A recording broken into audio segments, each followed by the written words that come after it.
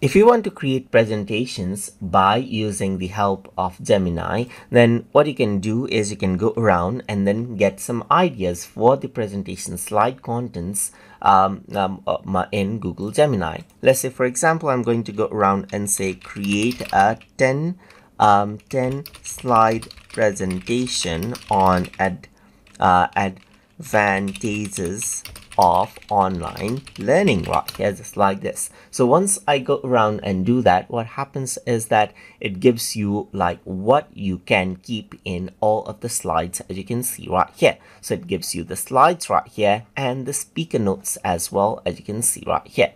So you can see that it is generating so it created until four slides right here and it's still loading right here.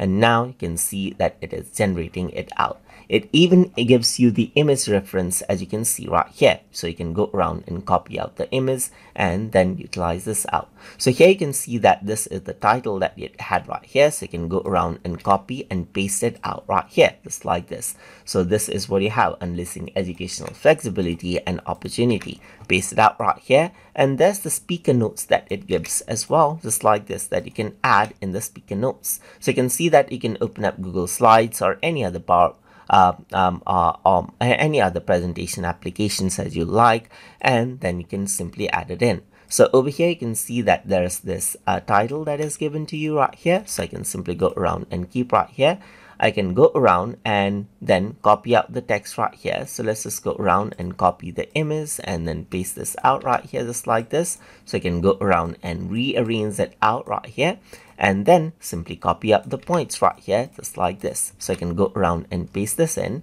and let me just resize this out right here and then you can go around and add in the speaker notes as you can see right here so it gives you all of the information for the slides as you can see along with the pictures where it says sees it as relevant as you can see right here and that is how you can go around and generate slide contents by using uh, Google Gemini to create uh, uh, presentation slides and to get help with it.